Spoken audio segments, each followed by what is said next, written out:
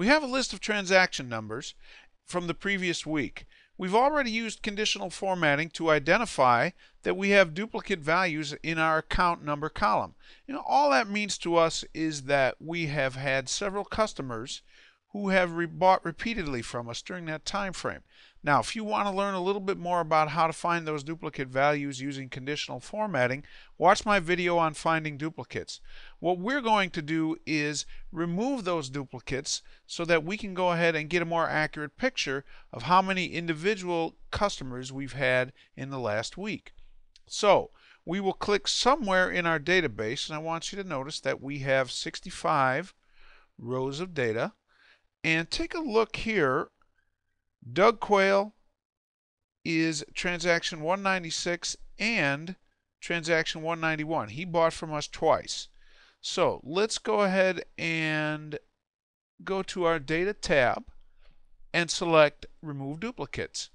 You see it selects all of our data and because we have a nice header row and it recognizes that it lists our column headers, first, last, and account number and transaction number. Now, we already have identified that the account numbers are where we have duplicates. Of course, these are duplicates too, but we're going to just use the account number for now. Choose OK, and you'll see that 12 duplicate values were found and removed.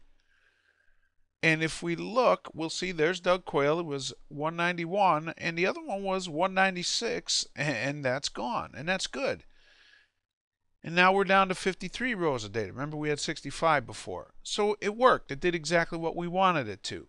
Let's go ahead and let's undo that. And let's do another one. Let's go remove duplicates, and this time let's select the last name column because, like I said, we know we've got these are all duplicated. We'll choose OK, and wow, this time it found 14 duplicate values. Well, all that means is that we have more than one customer with the same last name. So you have to be careful. But what I'm really trying to do here is show you that you can remove duplicate values as well as text. All right, let's go ahead and let's get back to where we were.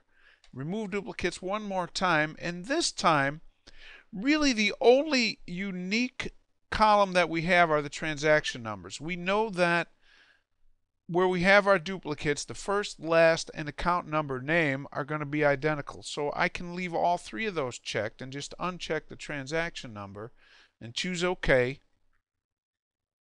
And we see that I'm back to my 12 duplicate values found. It's a great tool. Just be careful and remember when you remove the duplicates, they're gone. They're not just hidden. So if you save this, that's it. Be very, very careful how you use it. And that's removing duplicates. Thanks. I'll see you next time. Thanks for watching. For more information regarding our training videos, please visit www.trainsignal.com.